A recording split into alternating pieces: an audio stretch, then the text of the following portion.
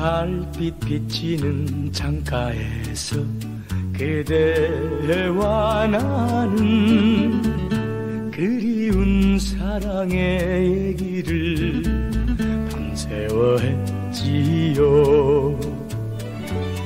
이슬이 내려서 옷깃을 적셔도 우리 서로 모르고 즐거워했지요. 그때는 그리움만 넘쳐 흘렸지만 지금은 그 시절이 그리운 얘기랍니다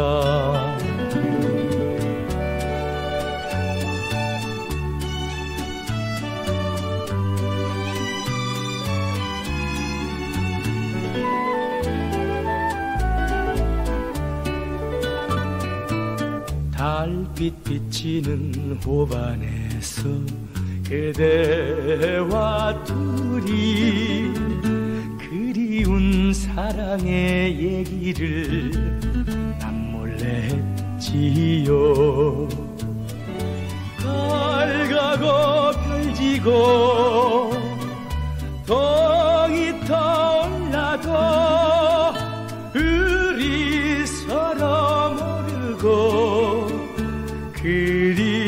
그리워했지요. 그때는 꿈이 많은 어린 시절이지만 지금은 그 시절이 그리운 얘기랍니다